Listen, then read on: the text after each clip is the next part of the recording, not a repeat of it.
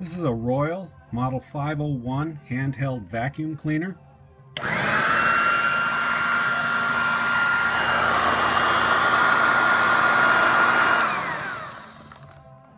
Everything functions just fine. Very clean.